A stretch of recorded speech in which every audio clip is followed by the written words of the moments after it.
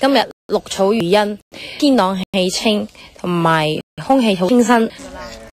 家陣啲歌手咧為咗減傳肺炎嘅機會，宣傳活動咧都揀喺戶外行。今日 Joey 咧就喺呢度拍新歌 MV 啦。頭先做訪問，佢同記者啲距離啊，比平日啊遠咗噃。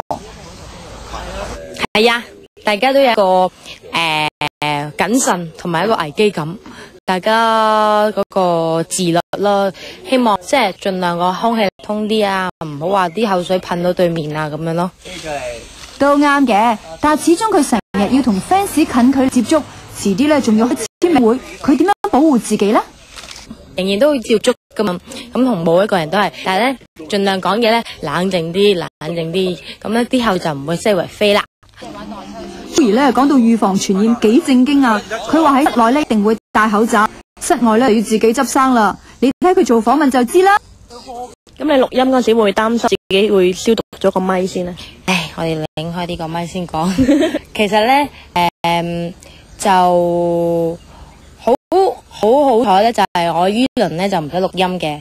咁但係咧，其實有一啲紙咧係放抹咪嘅，咁所以可以消毒咗個咪。大家咧就誒唔使擔心咯。